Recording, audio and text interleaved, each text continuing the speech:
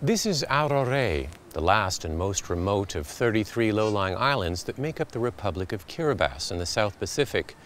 Scientists say that in the next 30 to 50 years, islands like this one will be underwater due to rising sea levels caused by global climate change. So what are people doing here now to prepare for a day when their country no longer exists? Bob Sorum is building a seawall to protect his house. While most of his neighbors have moved inland, he's determined to stay put. But for how long? One conservative estimate from the University of Colorado predicts that global temperature changes will cause sea levels to rise as much as two meters by the end of this century.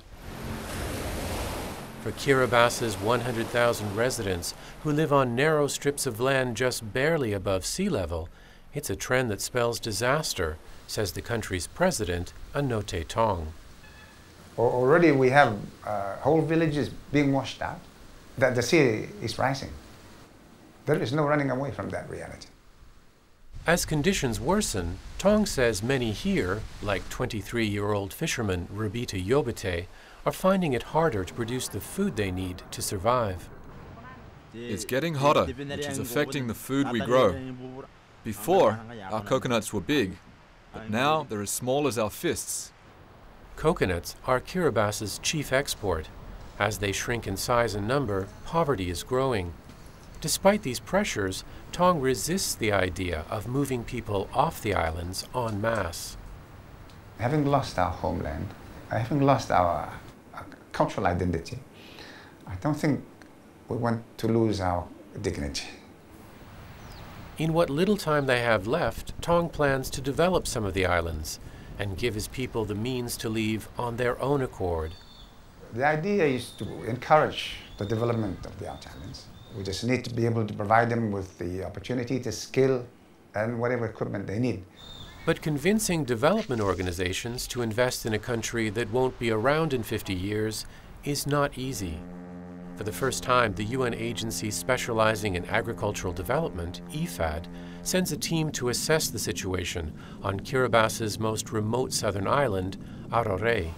We would like to understand some of the challenges that you face with the environment. There has been a lot of damage to trees. Wells are salty.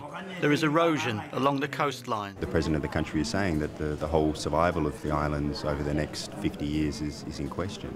A challenge that we face is, is what happens in, in the course of this 50 years. The IFAD team helps islanders develop a plan one that tackles some of their most immediate problems, like the intrusion of seawater, but also breaks new ground for those living on the front lines of climate change. This agricultural research center has been set up to help islanders produce food locally. The aim is to identify food crop varieties able to tolerate rising temperatures and grow in salty water. It's Tong's goal to turn islands like Arorae into centers for food production growing crops that could help feed populations in places where the impact of climate change is advancing much more quickly. But these are just temporary measures. Tong says the real challenge is to make those countries contributing to climate change take responsibility for its effects. This represents the, the single biggest moral challenge to humankind. And if it doesn't respond to this, then there is no credibility to anything